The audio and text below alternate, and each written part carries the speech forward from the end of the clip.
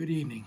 Welcome to the service of the shadows at the Baptist Church in Rosettenville as we are part of the lockdown and we come to remember what God has done for us. And we praise God for this special Thursday, this night before Jesus went to the cross.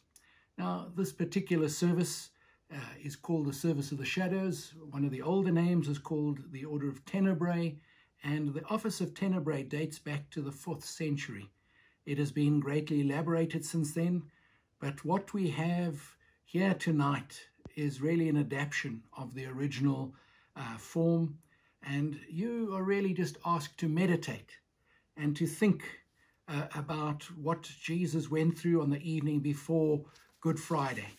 And the idea is that as Jesus and his disciples were together for that last time, when he stood in the shadow of the cross, the, we will have some candles, as you see behind me, and there will be the gradual extinguishing of the light uh, towards the end of the service, which is symbolic of the advancing darkness that came over Jesus with the flight of the disciples and the bitter hate of his enemies and the looming shadow of the cross.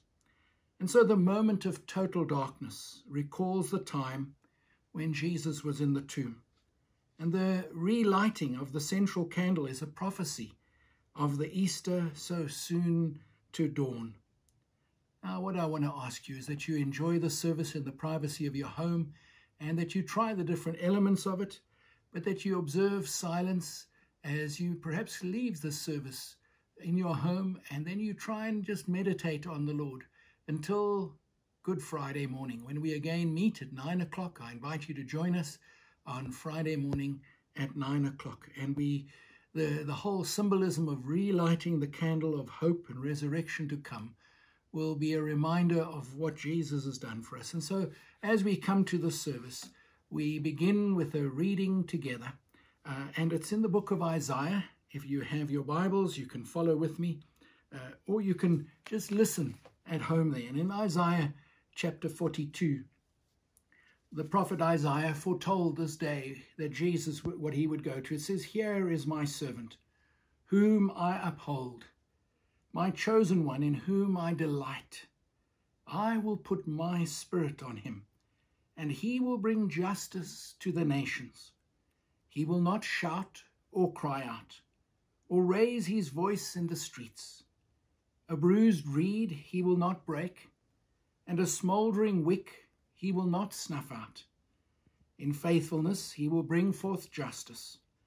He will not falter or be discouraged, till he establishes justice on earth. And in his law the islands will put their hope. Let us pray. Our wonderful God, we've come to put our hope in you as we meet with you today.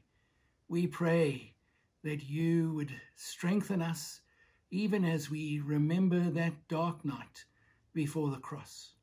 And we pray that you would meet with us in a very special way in the service, each in our homes.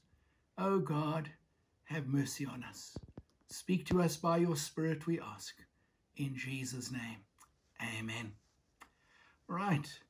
Uh, we're going to try and sing together, and if we're able to, now's the time to pause and to go to that song, My Jesus, I Love Thee. Let's pause.